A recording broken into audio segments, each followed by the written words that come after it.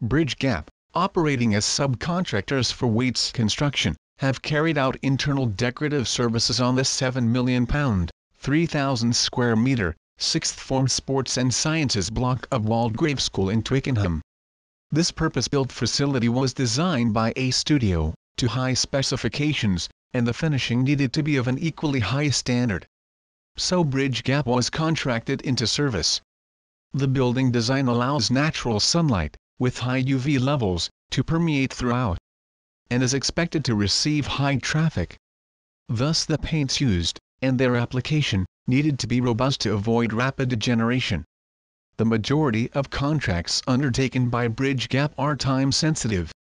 This contract at Waldegrave School proved no different, so great importance was placed on planning and execution.